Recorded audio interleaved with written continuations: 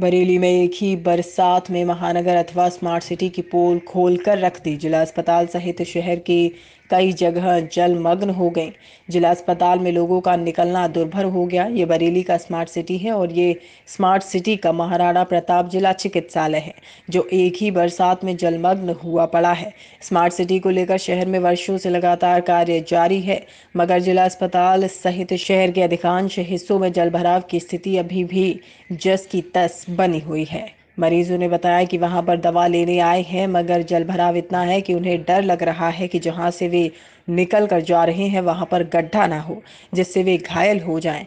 पानी इतना भरा हुआ है कि रास्ते पर पानी के अलावा कुछ भी दिखाई नहीं दे रहा। हालात अभी के नहीं है ये हालात बहुत पुराने हैं मगर प्रशासन ने अभी तक इस ओर कोई ध्यान नहीं दिया।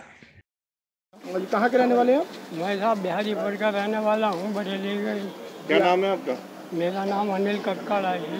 अनिल कक्कड़ जी आप जो बरसात में आज आए हैं पानी भरा हुआ जल अस्पताल क्या क्या समस्या सामने करा समस्या तो ये हर बगत की है कोई हक नहीं नहीं है।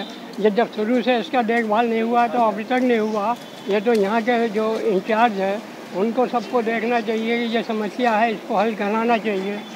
ये, ये आम समस्या है ये कोई नई समस्या नहीं है ये। ये पुरानी समस्या हर बरसात की समस्या है। अब इतने पानी में निकल गया है तो आपको कोई समस्या को खतरा महसूस समस्या तो खतरा तो ये कहीं गड्ढा हुआ तो पैर पड़ जाएगा। पानी में दिखाई तो देगा नहीं। आप अपना दवा लेने आए थे क्या? हैं? दवाई लेने आए दवा लेने नहीं भैया मेरे हाथ में तकलीफ़ थी मैं एक्सरसाइज करने आता हूँ। फिजियोथेरेपी हाँ एक्सरसाइज करता हूँ यहाँ पे दवाई लगती है मसाज होती है हाथ की।